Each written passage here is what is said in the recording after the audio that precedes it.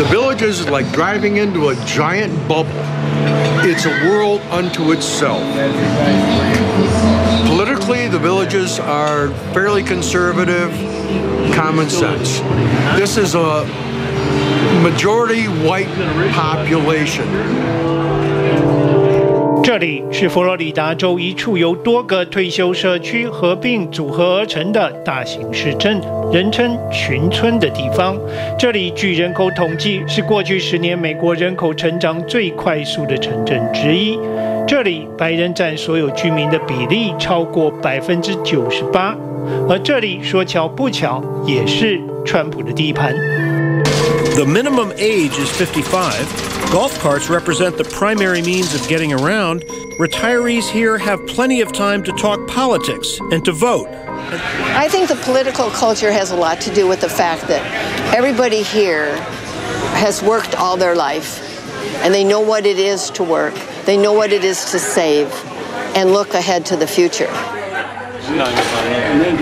Here, people run home to watch Fox News. I think the uh, liberal point of view has taken over in the colleges and in the uh, school system, and that's damaging this country. Morals have declined so much since over the last 50, 60 years that it's pathetic. Uh, you can see that in the way things were in the 50s and the way they, they are now. There's more of us old people. We get out and vote.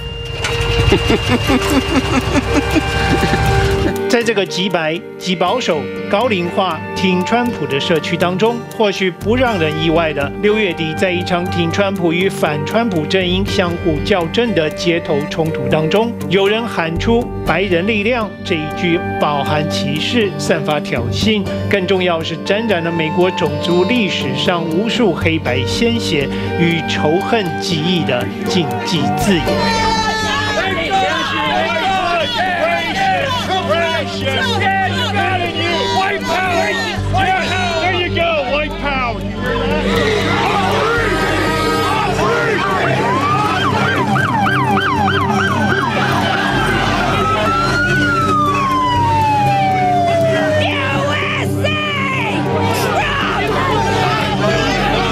种族和政治在美国就如同任何一个国家内部族群议题，始终是难分难解。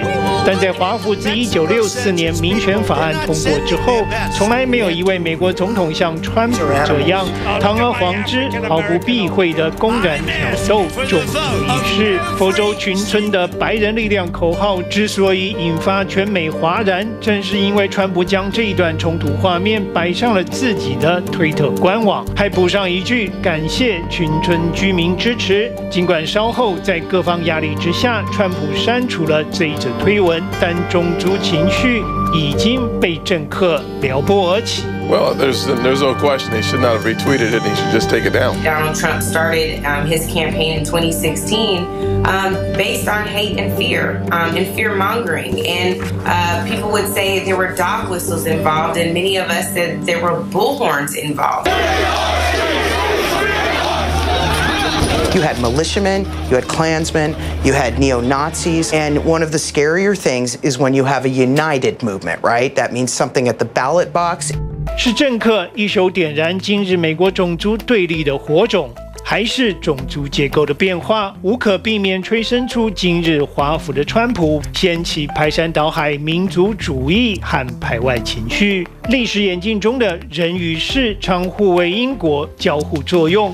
美国人口普查局在两千零八年公布的一份人口报告，在许多意义上都堪称是美国政治史一个关键的分水岭时刻。那份报告中，普查局官员预言，按照人口变化趋势，美国境内的少数民族，包含非裔、拉丁裔、亚裔和美洲原住民，加起来所占的人口份额，将会在二零五零年突破。百分之五十门槛，形成所谓的少数占多数。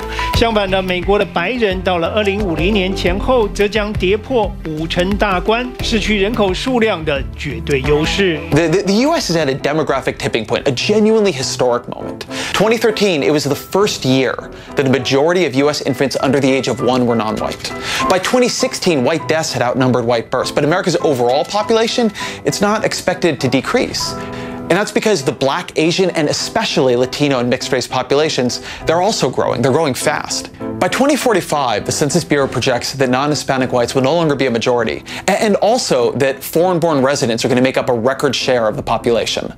算人头比多少是人人心领神会的硬道理。过去，当美国白人占据多数时，由于在社会、 经济、政治各层面以及一人一票的民主制度中，白人都享有稳定的优势，地位不受挑战，因此并不会展现出明显的排外情绪。但这个稳定优势一旦遭到打破，原本的多数族群感受威胁，不仅可能爆发认同危机，更危险的是优势的丧失，很容易就激化族群间潜在对立。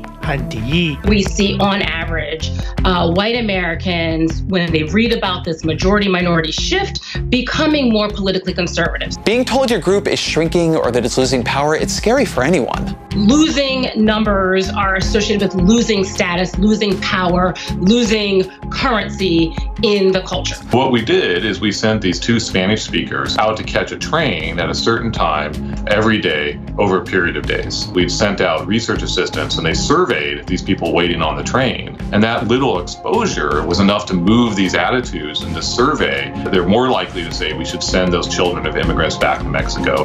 They're more likely to say we should decrease immigration from Mexico. And they're even more likely to endorse that English should be the official language of the United States. Massive demographic changes have been foisted upon the American people.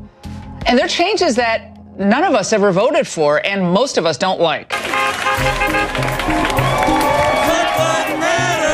从福斯电视台到川普现象，再到近年愈见频繁的美国种族摩擦，所引发一次比一次更大规模、一次比一次更持久的示威抗议与街头动荡。